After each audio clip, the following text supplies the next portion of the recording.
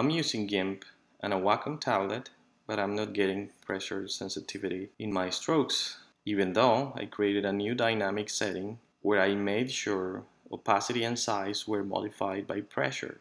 But as you can see, this is not working. To fix this problem, you have to go to Preferences,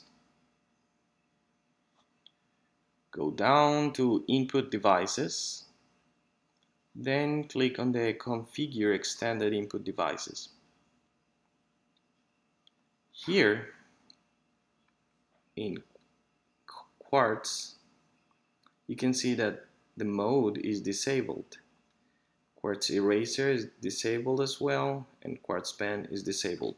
We have to change this to screen, Quartz Eraser to screen, so the pen eraser will work, and enable this as a screen as well.